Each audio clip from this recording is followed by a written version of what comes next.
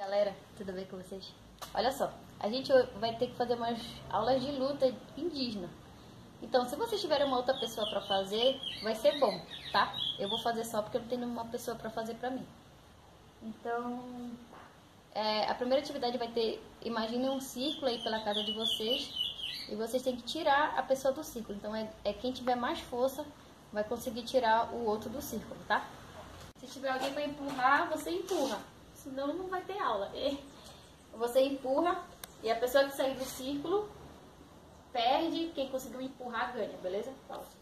Outra brincadeira que tem na, nos povos indígenas é o cabo de guerra. Tem que puxar, se tiver alguma coisa aí, com, com o parente de vocês, vocês peguem uma corda e puxam. Vence que conseguir puxar o seu adversário. Olha só. Tem aquela brincadeira, brincadeira já, aquela luta uca-uca que eu mandei pra vocês em vídeo. Então, a gente vai fazer de forma adaptada. Se você tiver alguém na casa pra brincar, melhor. Brincar, né?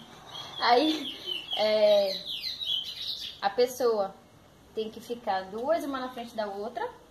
E vai ganhar quem conseguir tocar a perna do outro primeiro. Não vão carregar e jogar no chão, pelo amor de Deus. Quem conseguir tocar na perna do outro, as duas pernas, vence. Aí tem que ficar assim, ó. Quando pegar na perna do outro, vence. Quem tá aqui tem que se desviar, tá?